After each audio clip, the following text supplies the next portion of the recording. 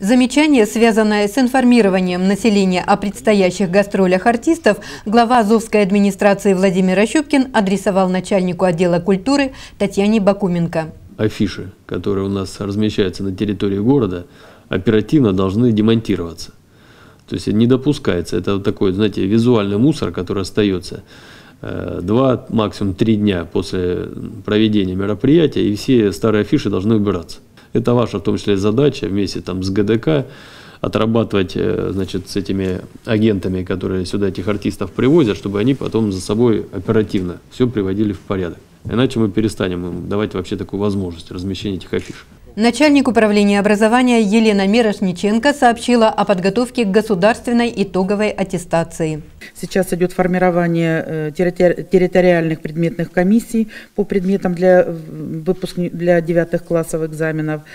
Э, также идет сбор сведений по федеральным э, претендентам на федеральные губернаторские медали. С 31 марта всероссийские проверочные работы. Мы сейчас формируем э, общественных наблюдателей, ну, 59 уже в базе данных общественного наблюдения. Будем составлять график для того, чтобы они участвовали в всероссийских проверочных работах. В целях предупреждения нанесения вреда здоровью, физическому и нравственному развитию детей и подростков Областным законом запрещено пребывание вне дома с 22 до 6 часов лицам, не достигшим 16 лет. Как данный закон выполняется в Азове, проинформировала ответственный секретарь городской комиссии по делам несовершеннолетних и защите их прав Ирина Головатенко. Рабочими группами э, проведено с 8 до 12 э, обход э, центральных улиц, сквера и парка. Несовершеннолетних не было выявлено при нарушении областного закона. Также Ирина Головатенко сообщила, 14 марта в городе произошло чрезвычайное происшествие, в результате которого двое несовершеннолетних остались без попечения родителей. По информации моего МВД, э, в домовладении были найдены два трупа. Э, это родители несовершеннолетних. Семья не состояла э, на учете в социально опасном положении, не находилась. Дети в учебных учреждениях характеризуются нормально. Органы опеки попечительства незамедлительно выехали по месту Э, происшествия. Э, дети сейчас э, в безопасных условиях, переданы родственникам. Детям оказывается необходимая медицинская и психологическая помощь.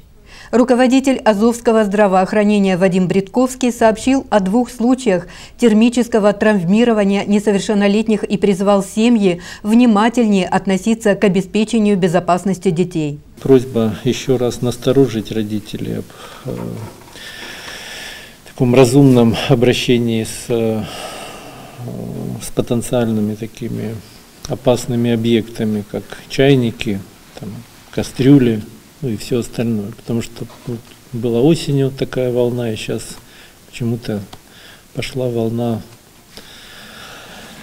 э, весной.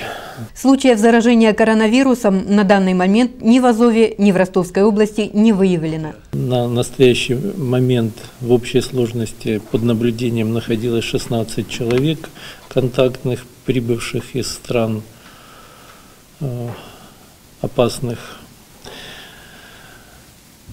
Семь человек уже сняты э, как эпиднеопасные, то есть они прошли трехкратное обследование на э, коронавирус. Э, в течение двух недель наблюдались, измерялась температура. Остается под наблюдением 9 человек. Также у них первые все анализы отрицательные, но двухнедельный карантин. В целях своевременного реагирования на возможное осложнение эпидемиологической ситуации в Минздрав области была подана и уже подтверждена заявка на приобретение дополнительного аппарата по искусственной вентиляции легких. Владимир Ощупкин подчеркнул, сегодня очень важно, чтобы каждый человек относился к ситуации с должным пониманием. И я вот тоже обращал внимание на то, как реагируют наши соотечественники на это заболевание. Но вот пока нет такого вот ответственного, наверное, отношения, беспокойства. Все надеются на русский авось. Ну, я не знаю, в нынешних условиях, наверное, учет, учитывая масштабы все-таки этого заболевания, рассчитывать на авось не стоит, поэтому я думаю, что здесь в своей работе тоже не только нашим коллегам из здравоохранения, ну, всем нам нужно учитывать. И, соответственно, свои рабочие планы, как я уже сегодня неоднократно говорил, выстраивать, исходя тоже из этих обстоятельств. Татьяна Иващенко, Алексей Покатило, Азов-Инфо.